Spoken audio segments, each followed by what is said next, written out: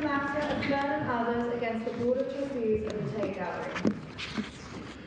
Lord Leggatt will explain the decision of the court. For centuries, the common law of nuisance has protected homeowners from activities of neighbours which unduly interfere with the ordinary use and enjoyment of their homes. A typical case of nuisance is the neighbour who repeatedly plays loud music late at night, or a nearby factory which emits unpleasant fumes. But nuisances can take many different forms.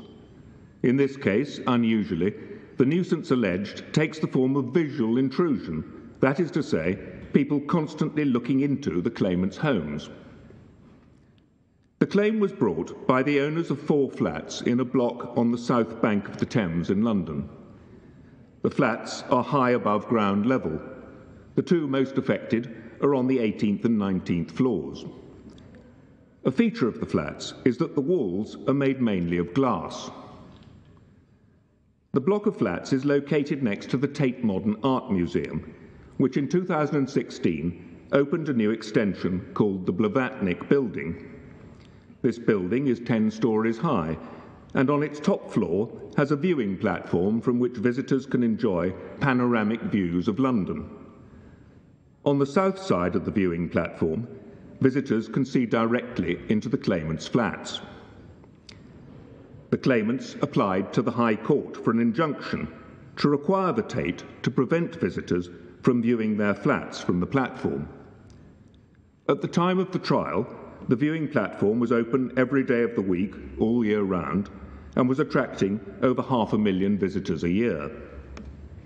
The judge found on the evidence at the trial that a very significant number of visitors display an interest in the interiors of the claimant's flats. Some look, some peer, some take photographs, some wave. Occasionally, binoculars are used. Many photographs have been posted online. The judge found that this level of viewing and interest shown in the claimant's flats is a material intrusion into the privacy of their homes, using the word privacy in its everyday sense. But he dismissed the claim. In essence, his reasons were that the Tate's use of the top floor of its building as a public viewing platform was reasonable, and that the claimants had exposed themselves to view by choosing to live in properties with glass walls. The judge also thought that the claimants could reasonably be, be expected to protect their own privacy by taking measures such as drawing their blinds during the day or installing net curtains. The claimants appealed to the Court of Appeal. The Court of Appeal decided that the judge had not applied the law correctly, and that if the general principles of the law of nuisance are correctly applied, the claim should succeed. But they dismissed the appeal. They did so on the ground that what they referred to as overlooking cannot in law give rise to a claim in nuisance, no matter how oppressive it may be. From that decision, the claimants have appealed to the Supreme Court. By a majority of three to two, we allow the appeal. I, Lord Leggatt, give the majority judgment with which Lord Reed and Lord Lloyd Jones agree. Lord Sales gives a dissenting judgment with which Lord Kitchin agrees. All five of us agree that the ground on which the Court of Appeal decided the case was wrong, and that visual intrusion is in principle capable of being a nuisance.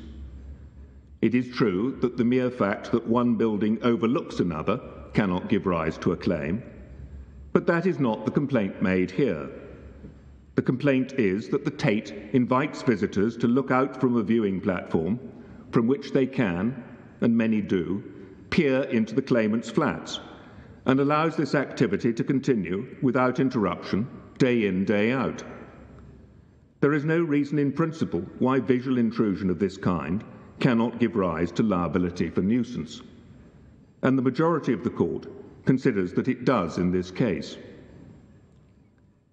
In my judgment, I review the principles of the law of nuisance. Key points are that to give rise to a claim, the activity complained about must interfere with the ordinary use and enjoyment of the claimant's property, and the interference must be one that the ordinary person would regard as substantial. Even then, no claim can be made if the defendant is doing no more than making a common and ordinary use of its own land. What constitutes an ordinary use of land has to be judged taking account of the character of the locality, for example, whether it is a residential or an industrial area.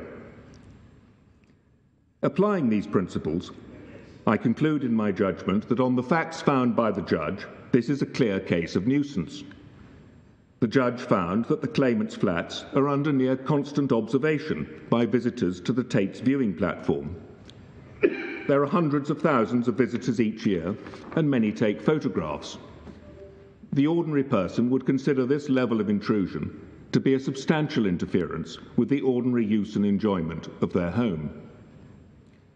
By contrast, the judge found that making a viewing gallery available to members of the public is not an activity which should actually be expected, even in a part of London used partly for cultural purposes and which attracts tourists. The judge went wrong, first of all, by asking whether in operating the viewing platform the Tate was making an unreasonable use of its land, instead of asking whether it was a common and ordinary use. If he'd asked himself whether it was a common and ordinary use, he would have been bound to conclude that it was not. Next, as I've mentioned, the judge thought that the claimants had exposed themselves to view by choosing to live in flats with glass walls. Again, the nature of the use which the Tate is making of its land is important. if, for example, another high rise block of flats had been built on the Tate's land, from which residents looking out of their windows could see into the claimants' homes, the claimants could not have complained about the fact that the interiors of their flats could be seen because of the glass walls. But it's different where, as here, the Tate is using its land not in an ordinary way, but in an abnormal way, not reasonably to be expected. Here, it's no answer to a claim for nuisance to say that the claimants would not have suffered a nuisance if their homes had been designed or built differently. As for the argument that the claimants could reasonably be expected to shield themselves from view by drawing their blinds or putting up net curtains, that argument wrongly places the responsibility to avoid the consequences of the nuisance on the victim. As the judge himself pointed out, it's not an answer to a complaint of excessive noise to say that the victim should buy earplugs as I've said, Lord Sales and Lord Kitchin take a different view and would have dismissed the appeal. I cannot, in this very short summary, do justice to their reasons.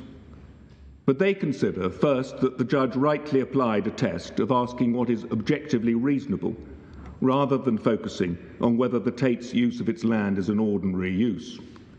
And second, that the judge was better placed than an appeal court to apply this test, and did not, in their view, make any error of law in doing so. The appeal to this court was limited to whether the Tate is liable for nuisance and did not include the question of what remedy should be ordered if the appeal succeeds. The appeal has succeeded. The court holds that the Tate is liable to the claimants under the law of nuisance. To decide on the appropriate remedy, the case will be sent back to the High Court. The court will now adjourn.